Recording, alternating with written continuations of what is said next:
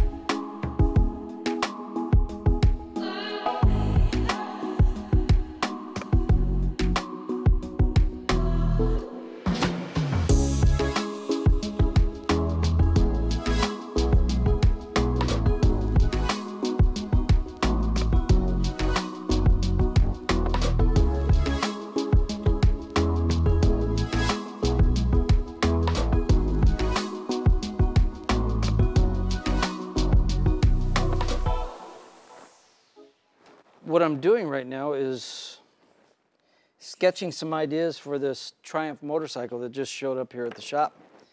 And the reason it showed up is about a month ago, I was asked if I would be involved with a, uh, I think it's a show for television called Talking Evil. and it was all about Evel Knievel. And as a kid, of course, all of us were influenced by Evel Knievel. I, I remember when when he was going to jump something, you know, my dad and I were right there in front of the television along with all of my friends and their fathers. And I thought, yeah, I'll talk about my experience and, and what it meant for me. And of course, then we wanted to go outside and build our own ramps and jump something. But, uh, you know, they asked me if I wanted to do a tribute bike that's based off of this television show and everybody talking about it, and it will be unveiled at the Detroit Autorama. So it's not an Evel Knievel bike, but it's a tribute bike, so I'm playing around with what I might do. Uh, typically, you'd think of red, white, and blue and stars. Well, I'd like to keep the bike black. Typically, for Evel Knievel, it would be white, but it's a tribute. I want to keep it black, do everything black, and just do a simple graphic that represents a tribute to Evel Knievel.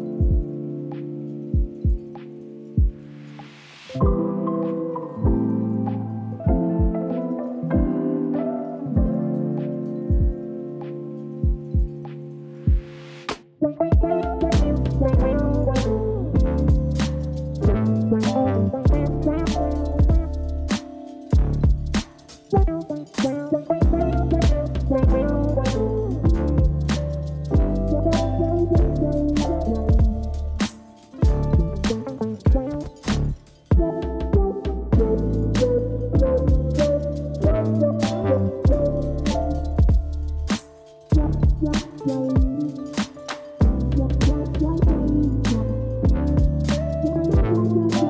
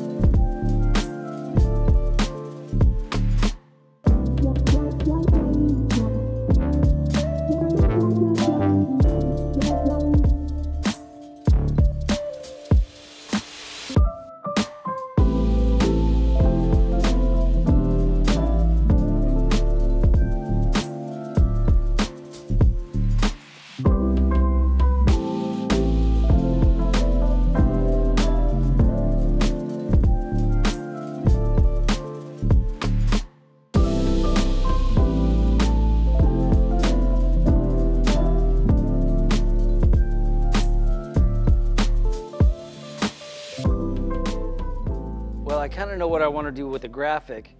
Originally, I was thinking of doing the whole front of the bike red and the back of it blue with this stars and stripe. What I want to do is a red and a blue stripe. Between it, I would do this section, there'd be white, but I would do this section in silver and charcoals and make it look like the stripes are actually, or the, I'm sorry, the stars are moving. And possibly just a red, white, and blue stripe on the edge of all the wheels, two wheels but uh, I think it's going to stay real simple. You know, when I think of Evel Knievel, I think of white, but maybe we're in his black mode of bikes. So rather than doing it typically white, it's, you know, it's a tribute bike. And I think if Evel was alive today, he'd like black.